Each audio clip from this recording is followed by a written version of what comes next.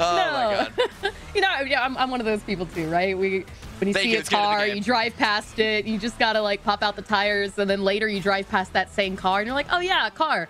Fuck, the tires are gone. Um, but that said, guys, we are in game. The plane, very similar to El Pozo again.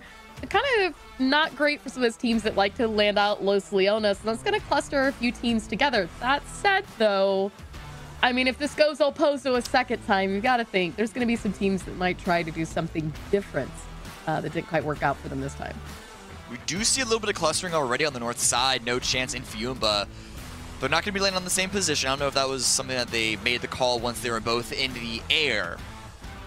It's going to be a Campo Militar drop. I know Toffee's going to like this one. But we have a few other teams that still need to cross that road that cuts between Monte Nuevo and Pecado. We got 303, we got TSM, we got 22, and no chance. And Alcreche is going to be lying in wait, but Fiumba on the rotation. Now trying to leapfrog in front of Dignitas and just go in towards Chumacera proper. Yeah, I, I mean, keep your vehicles healthy, park them inside the buildings if you've got it, and get yourself as center position as possible, taking that chance that this might stay on the town. But right now, gas cans, a bit of a kerfuffle here with VS. It is traded out, and Hikerman is just going to be left behind. Adam taking no more chances here and just trying to keep himself up and rejoin the rest of the team. But, I mean, the rest pretty far split, actually far down to the south. And wasn't sure if this was a late uh, rotation from these two members or if it was the potential of a split even. But either way, Gascan's trying to work on keeping three up. And you could see, though, Young Kings wrapping in this similar area. So some cover fire from Nikos and Greg shot should be enough to keep Adam pretty healthy. And It is actually going to be a headshot there by Nikos that gets and one FPS knocked down. But now it's going to be Oath up next. And oh, that tire pop is really bad. Tiggleton finds Penta as well. So it's gone from bad to worse for TSM. I mean, again, it just shows the importance of rotating at the right time and finding that position early on, especially on Miramar with these open areas. You can see uh, just Snakers and so many other players just have perfect line of sight right now, and all of these players wrapping in. Uh, Trisk is going to fall to zone. No chance actually losing two here, but RDS is going to flush out Alo on the on the wrap. So uh, just, it, I mean, it's a bloodbath here on the edge between Akrache, TSM, and No Chance. I don't even know if TSM's location is still in the circle, but you know who else is in, not in the circle? No chance. I'm shocked that Decreche actually left that fight. They don't have a lot of area to play there, and with TSM stuck in the position that they're at, at least to me it seems like easy pickings, but maybe they disagree. Over here though, and one is trying to defend against Gas Cans. They're actually able to get in front of Gas Can's position, but the fight is gonna break out no matter what. And one is able to secure the kill that he has. Both Greg and Miku's has been taken down. Two kills for him and his Oh, squad. Honey but. Dignitas are here to try and capitalize, try and pick up what they can from this position. Utility comes in. This frag grenade could land inside that shack. Hey, Honey Badger really need to take care of this positioning that the Young Kings have. If they want to take out uh, this whole corner to play from, Adam from the gas cans is going to move on, not waste much time from here. And that actually looks like the Young Kings pulling back away. Meanwhile, VS Trogloditas fighting right on top of each other for the high ground on the edge of zone. A good trade coming out from both of these teams. It actually looks like the Trogloditas uh, might have to play a little bit harder for that spot. Luke is now the only one left for TSM, but back here onto the southwest. A great grenade by Adam onto Dignitas. They were so focused in on Young Kings that they forgot to consider whoever remained for the gas cans. It's just Adam. However, he was able to get those two kills, but now his position is known, and the rest of Dignitas are going to be tracking him, tracking his movements as best as they can. The circle does fall away from that area, and it is wide open in the center polar opposite from the game we just saw in the city. This is outside of SSG's compound. There's not a lot of hard cover left. It's all soft terrain. It's all rolling rocks, rolling hills. I mean, the potential that this could be SSG's game to lose. Tiggleton, though, has been taken out. A Cresce have been fighting with them uh, time after time, and they should be able to get this res off there for Ruben. Meanwhile, Dignitas finally pushed their way into Chumacera. Nade's out here towards Fiumba, and again, trying to clear their edge, giving them the south to play off of. DraftKings spotted for just a second by Poonage is not going to catch him by surprise here. Poonage flushing that one out. Tries to take down another member, but it is traded. Sparking Waste no time though. Fiumba falls here and the res should pop off. Dignitas right now sitting on four kills, but have lost two members in the process. And Adam still alive. Remember, Adam took down the other two members of Dignitas.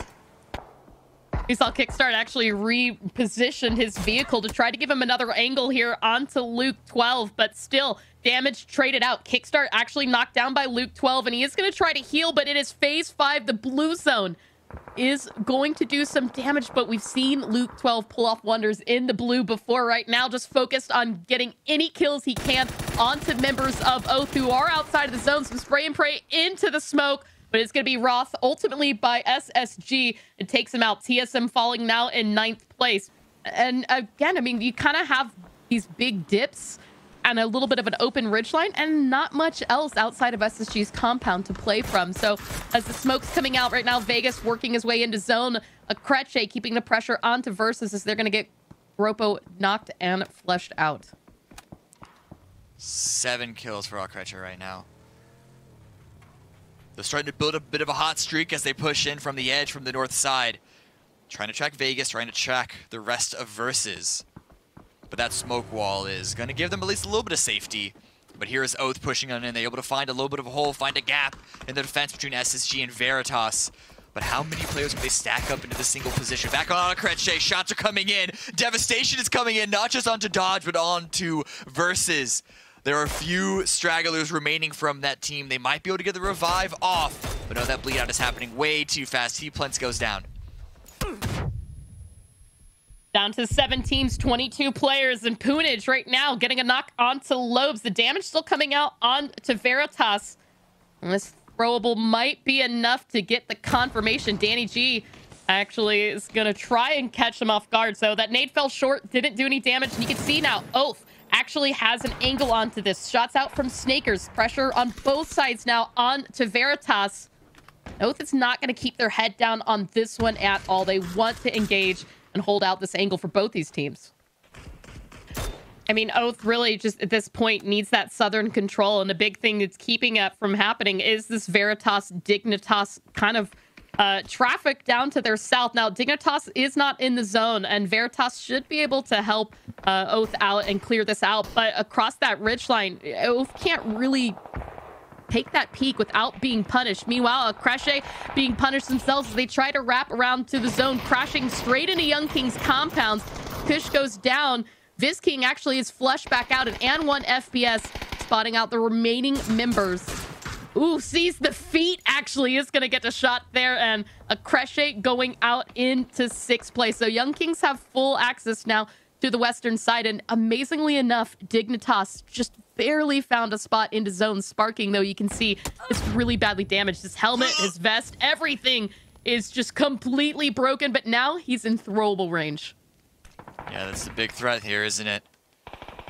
Been flashed out, utility out, mollied out. Fortunately, Oath are on another fight of their own, trying to keep eyes both on this south fight between Veritas and Dignitas, but also SSG, who are having to leave their own hardcover, leave their compound, but Sparking is going big, trying to run to the rock, not going to be allowed as Lobes takes him out. We're looking at the top four from this game, once again, including Oath. But can SSG, Veritas, or Young Kings take the win for themselves?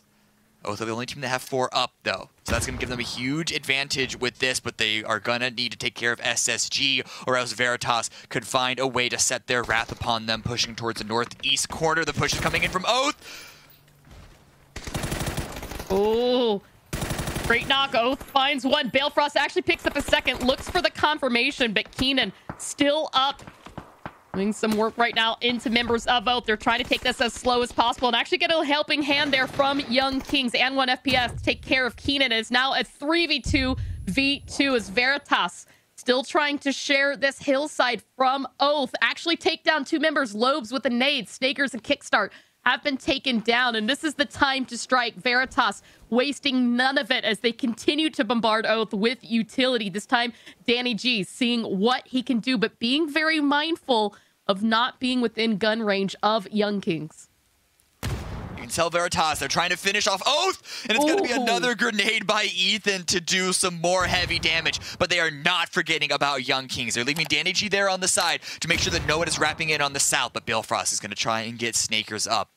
If they can play as two, this still gives them a passing chance. I mean, Flux hanging back and playing the off angle there for Young Kings as An1 anchored himself out center position is going to find a flush there on some members of Oath. And uh, that's kind of just how this is going to have to play out now. Veritas can completely turn their attention onto Young Kings who have been split back up. So uh, a 3v2 advantage. But if Veritas can find just a single knock, that that will really turn the cards in their favor here. 11 kills already for Young Kings, three more up. If they can take them out, it's going to be the game for them. You can see the flashbangs out right now into the smoke as An1 FPS finds a knock onto Ethan, but it's immediately traded. Flux goes down. Danny G picks it up and actually gets a second knock there. An1 FPS just needs to take care of Lobes. It's down to a 1v1 here between Veritas and Young Kings. Potential for a chicken dinner, and it's going to be Young Kings that get it in the end. 14 kills as they win our final Miramar match of the evening.